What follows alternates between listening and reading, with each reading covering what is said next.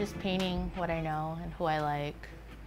I do have like a reference photo of artists I want to paint, but for the most part, it's epiphanies.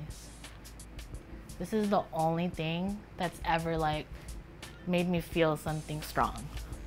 I get super emotional, I get super happy about it, I get super sad about it, I get really invested, and it's just like when you feel that strongly about something, you can't give it up.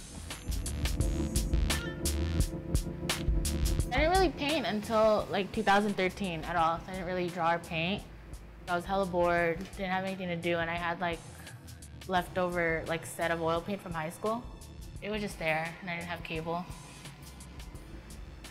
Anything that you do, you just have to pick it up and do it.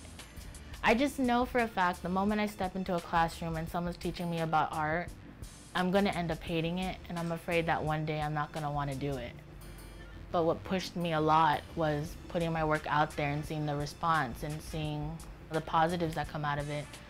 I ended up meeting Cameron at ComplexCon last year, and he was just like, yo, the color, like the blue background, like it makes it pop and this and that. And we were talking about like brushstrokes for like a good like five minutes to have that feedback and like conversation with him about my work.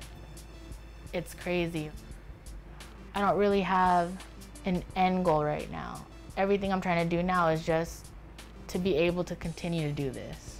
I remember in high school, before I was painting, I was like, maybe an 11th grader, I was like, yo, one day I'm gonna get hella rich and I'm gonna commission some artist to do this giant ass painting of Gucci eating hamburgers. And I'm gonna put it on top of my chimney. And it's like five years later, I'm not rich. I don't have a chimney, but at least I painted it myself.